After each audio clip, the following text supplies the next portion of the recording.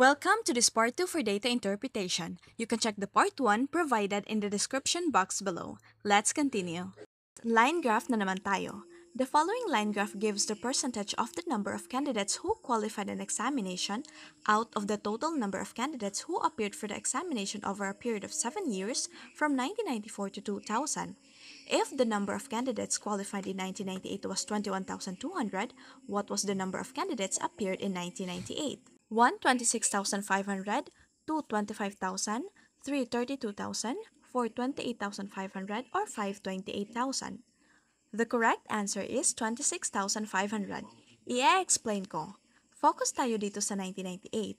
If the number of candidates qualified in 1998 is 21,200, meaning itong 80% ng 1998 is equal to 21,200 kasi nga itong numbers dito ay percentage ng mga qualified sa bawat taon. Nakalagay yan dito oh, the percentage of the number of candidates who qualified an examination out of the total number of candidates who appeared. So for example, in 1994, 30% ang qualified. Sa 1995, 50% ang qualified, and so on. So sa 1998 ay 80% ang qualified.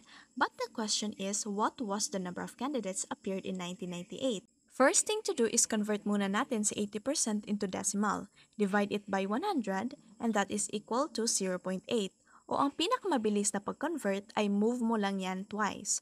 1, 2. At 0.8 din ang labas niyan. Let x be the number of candidates appeared in 1998. 0.8 of x is equals to 21,200. Ibig sabihin itong 80% o 0.8 ng x na hinahanap natin ay equals to 21,200. So para mahanap natin ang value ng x ay divide both sides by 0.8. Crush out, x na lang. So, 21,200 divided by 0.8. Dito sa ating divisor, we need to move the decimal point para maging whole number. At kapag nag-move tayo sa ating divisor, mag-move din tayo sa ating dividend. Ayan. 8 times 2 is equals to 16. 16 dito. 21 minus 16 is 5. Bring down 2. 8 times 6 is 48. 52 minus 48 is 4. Bring down 0. 8 times 5 is 40. 40 minus 40 is 0. Itong natitirang zeros ay copy lang natin sa taas. Ayan. So, 21,200 divided by 0.8 is equals to 26,500. And therefore, there are 26,500 candidates appeared in 1998. Next question with the same graph. The following line graph gives the percentage of the number of candidates who qualified an examination out of the total number of candidates who appeared for the examination over a period of 7 years from 1994 to 2000. The total number of candidates qualified in 1999 and 2000 together was 33,500 and the number of candidates appeared in 1999 was 26,500. What was the number of candidates appeared in 2000? 1. 22,000 2. 22,500 3. 20,500, 4. 24,500, or 5. 25,500. The correct answer is 20,500. It says that the number of candidates appeared in 1999 was 26,500. Appeared in 1999 is 26,500. Para makuha ang number of qualified sa 1999 ay multiply 26,500 to 80%. Kasi nga, base sa ating graph ay 80% ang qualified sa 1999. So, ang 80% ng 26,500 ay 21,200. Kinonvert na natin siya agad-agad from percent to decimal. Pwede din naman ganito, 21,200 din ang labas niyan. Kaso mas madali kasi yung i-convert na lang para itong dalawa na lang ang i-multiply mo. Kumbaga, shortcut na siya. So 21,200 ang qualified sa 1999. Balik tayo sa statement. The total number of candidates qualified in 1999 and 2000 together was 33,500. 33,500 daw ang total qualified sa taong 1999 at 2000.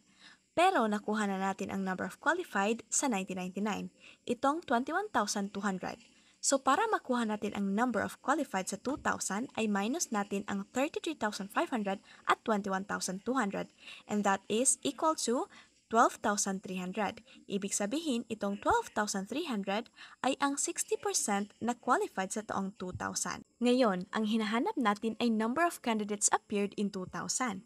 Kaya, let X be the number of candidates appeared in 2,000.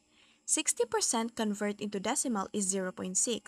Itong 0.6 ng x na siyang hinahanap natin is equals to 12,300. At para mahanap ang value ni x ay divide 0.6 both sides. Crush out, bring down x. 12,300 divided by 0.6 is, mag-divide tayo. Move the decimal point. 6 times 2 is 12. This is 0, so bring down 3. Cannot be, so lagyan natin ng 0 sa taas. Bring down 0. 6 times 5 is equals to 30. 30 minus 30 is 0. At itong natitirang 0 ay copy natin sa taas. So, 12,300 divided by 0.6 is equals to 20,500. And therefore, there are 20,500 candidates appeared in 2000. Ayan, thank you for watching and do not forget to subscribe, like, share, and comment if you wanted to, helping you increase your chances of passing. See you on my next videos. Bye!